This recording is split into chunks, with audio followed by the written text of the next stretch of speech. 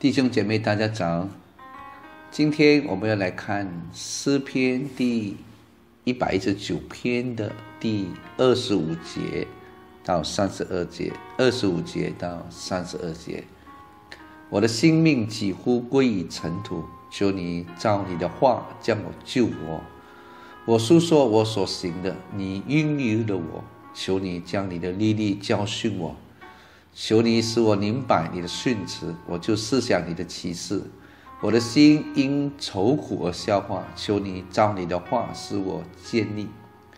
求你使我离开奸诈的道，开恩将你的律法赐给我。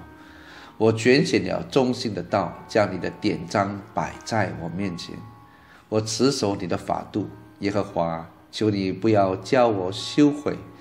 你开广我心的时候，我就往你命令的道上直奔。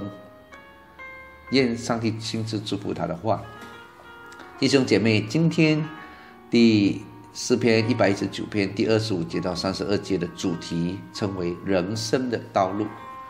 那在原文里呢，第八节的经文呢，有出有五次呢出现了道路。虽然中文用了几个不同的译法的，例如在二十六节的所行的，二十七节的训词，二十九节、三十、三十二节的道，其实呢都是同一个字。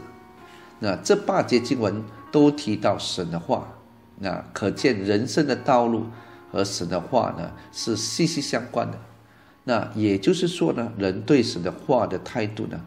他就会影响他的一生。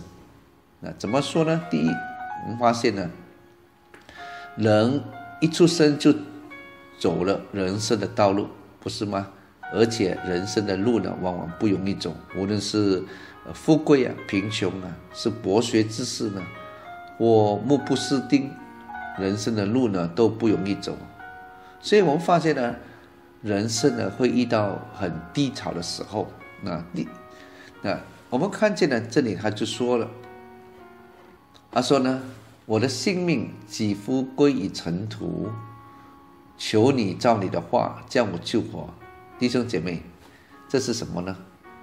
这是说他的人生的低潮，人生的道路来到一个很深的呃幽谷的时候，在人生某一段时间里面，这种低潮都会可能呃可能都会出现。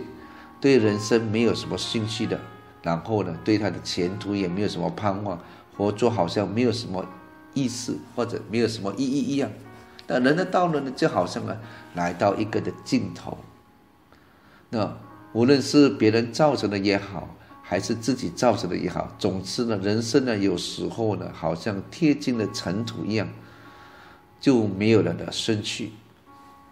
那么接下来呢，他这里就说：“求你。”照你的话将我救活，那是神的话将我们救活了，是神的话呢，能使我们从新的来整作起来。那呃，我们通常呢，在英文我们就说 revive，还是呢 stimulate me，哦，就是说呢，神把我们整做起来。那神的话为什么把我们整做起来？因为神的话就是晨光。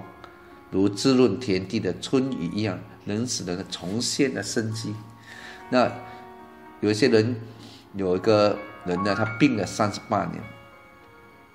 那病了三十八年之后呢，他肯定是绝望了，也没有盼望。但是呢，被主耶稣遇见了啊，这个呢，就记载在约翰福音第五章第一节那边开始这样说。那耶稣就简单的对他说：“起来，拿你的褥子走吧。”弟兄姐妹，那个人呢？他的人生就再一次的重现生机。他原本已经失去盼望了，绝望了，但是有一个人就告诉他起来。那他也有被人看为罪人，或者是卖国贼一样。虽然也有富有或者被人轻视的，呃，或者是被人吐痰的，人活得很孤孤独，也没有意义。但是呢？他一见了耶稣，耶稣只很简单的对他说：“今天我必住在你家。”然后又说呢：“诶，今天就会临到你家了。”那这两句话呢，今天，这个人听到之后呢，就扭转他的一生。那神的话呢，就使人从尘埃中呢站立起来。啊，这个我们就很清楚的，这段经文也就记载在路加福音第十九章的整个故事里面。那弟兄姐妹，二十六节说什么？他说：“我诉说我所行的，那就是指这个道路。”然后他说：“你应允了我，将你的历历呢教训我。”是的，弟兄姐妹，没错，将你的道路告诉神吧，将你的绝望向他倾诉吧，求他向你说话，求他将他的话呢向你开启，他一定会听你的祷告，使你重获新生。是的，当我们面对任何困难的时候，只要我们肯来到神的面前，向他诉说。他有必要使我们呢再一次的振作，He will revive us and stimulate our spirit。他就是这样的，使我们重新获得新生。那第三呢，就是上帝啊在我们生命行了一个奇迹。那怎么奇迹呢？二十七节说：“求你使我们明白你的训词，我就思想你的启示。”弟兄姐妹，不少人觉得呢，他的人生很乏味。那然后还平淡啊无聊的，其实人的一生中是有许多神的作为的，也有许多的神迹啊奇事啊，就发生在我们的周围。那可是呢，问题是我们没有去发觉，只因为我们的眼未得开。所以当人很仔细读神的话的时候呢，神就把他们的眼睛打开了。哦所以我们一定要祷告，求神打开我们的眼睛，使我们能够明白他的话，然后明白他的真理，我们就能够看见，哇，到处都是神迹，神迹处处的神恩，呃，浩瀚的。那保罗在路斯德传福音的时候就说得很好，他说什么呢？他说：“我传福音给你们，是叫你们离弃这些虚妄，归向那创造天地海和其中万物的永生神。”他从前的世代的任凭万国各行其道，然而为自己为赏不显出证据来，就如常施恩，从以呃从天降雨，赏赐丰年，叫你们呢，呃饮食饱足，满心喜的。那这就记载在呃十字书在十四章十五到十七节。所以我们看到了，没错的，我们每一天吃的饱足，经常有太阳，有雨水。使万物得以为生，弟兄姐妹，你说这岂不是神迹吗？那圣经呢就记载说，夜色呢有一天他被他的兄长们呢卖到埃及去，那那时候就他就经历人生最痛苦、最低谷呃的一种的痛苦的一种冲击的情的时期，但是事情发展到后来呢，夜色却成为了埃及的宰相，那。他和长兄们相认，那他怎么说？他对长兄们说呢？他说：“从前你们的意思呢是要害我的，当时的意思呢也是好的，要保存许多人的性命，成就今日的光景。”这个是一个多么美的经文，记载在创世纪的五十章二十节。我们看到的夜色呢，虽然他受苦，呃，但是呢，却有这么好的结局。弟兄姐妹，你想？那这不是很奇妙的事吗？没有人可以想到，夜色的生命，竟然呢开始是很痛苦的。可能我们生命当中，我们也会面对一些的痛苦，可能我们不明白。但是，一当我们来到神的面前祷告，神开启我们眼睛的时候，我就发现，其实呢，神在我们生命当中，他有美好的计划的。那接下来我们再看二十八节到三十三十节之间，那。我们人生不但会出现低潮，对不对？刚才我们已经说了，有时候呢更是压力重重的、举步艰难的那种情况。那所以二十八节还说：“我的心愁苦而消化，求你照你的话使我坚立。”那作者呢就讲出他的人生极的痛苦，已经来到了一种所谓的消化融化。那英文呢就把它翻译成 melt 跟 dissolve。这是好像呢，呃，一个固体呢就融化了一样一种地步。所以内心的融化呢，其实就是我们人人当中一个最大的伤害。当我们被人伤害的时候，我们感觉我们的整个心都碎了那种感觉。所以所谓的那种啊，哀莫大于心死，就是这个意思。然后呢，作者呢也讲出他内心消化是以是怎么样呢？是由压力的，呃，heaviness 的造成，这是一种的重担，一种的压力，嗯，把它压碎。那那这不单是他个人的如此，弟兄姐妹，我们发现有时候我们也是一样，面对人生的压力，我们感觉我们的心好像呢，就好像这个冰块呢。有有一团烈火一来，我们整个心就融化了，而且呢，有很大的石头，很大的一种重担压在我们的身上。那但是后来怎么样？作者怎么说？他说：“求你将你的话使我建立。”那弟兄姐妹，消沉的人生原来是有出路的。我们人可以从呢消沉中得到建立，从心变得刚强有力。这就是。怎么样呢？就是靠着神的话。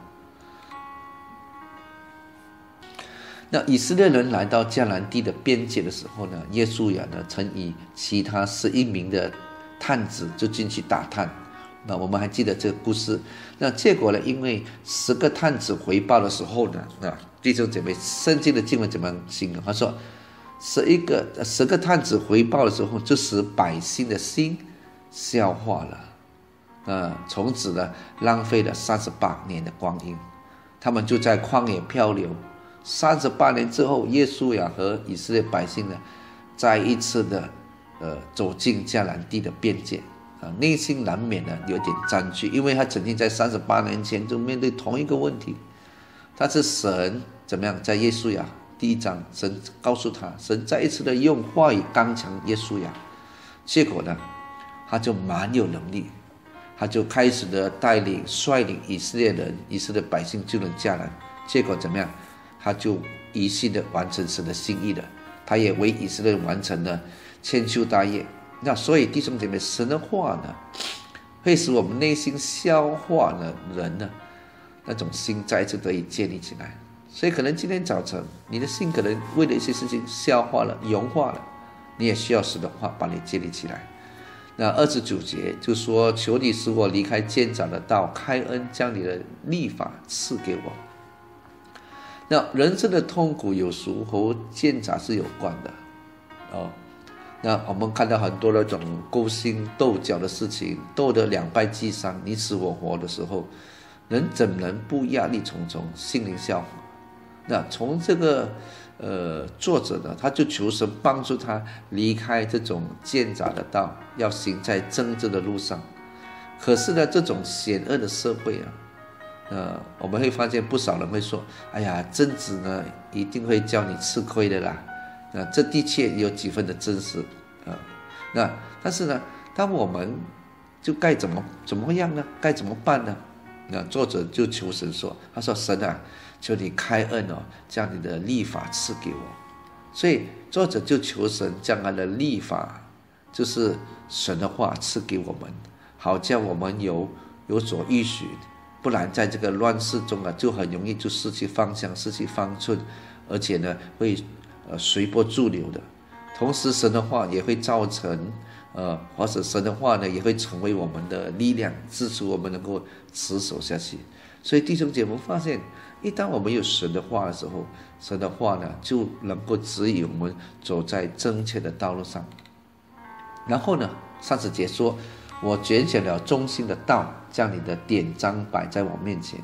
所以在人生的压力下，我们可以不消沉，我们可以靠着神建立。然而，如何靠神建立呢？作者就说，我拣选了中心的道，那。作者呢，他拣选了行神的中心的道，就是什么呢？就是诚实的道，真理的道。所以虽然人生沉重难走，呃，因为人常活在虚假和活在假面具底下，因为人不诚实，人没有真理，或者是你骗我，我骗你，大家都在痛苦。但是呢，作者呢，他就觉悟了，他不要再虚假下去，他要很真实的，他要照神的真理行。这样子的话呢。常常摆在他的面前，那神的话呢，就成为了他脚前的灯，路上的光，使他不在黑暗里行走。这样呢，即使别人仍然是虚虚假假的，但是他自己却呢，很诚实、很真实的，is very true。那自己的心就能够坦然的啊，来到人家面前，对得起人，对得起自己，跟对得起神。那弟兄姐妹，这个就是属于主、属于神儿女的一个出路。那最后呢，就是三十一节跟三十二节，他这里说：“我开通你开通我的心的时候，我就往你命令的道直奔。”原来人生的路呢，可以很广阔的。那人在其中也是可以奔跑的。怎么样奔跑呢？三十一节说他是不羞愧。他说：“我持守你的法度，耶和华，求你不叫，呃，求你不要叫我羞愧。”那人生可以很宽阔，首要的。就是我们人不羞愧，因为羞愧呢使人抬不起头来，哦，所以我们发现，那人可以在人生的道路上直奔，是因为呢我们没有做羞愧的事情。那作者呢用什么方法呢教他的人生不羞愧呢？那我们就看见这里答案就是我持守你的法度。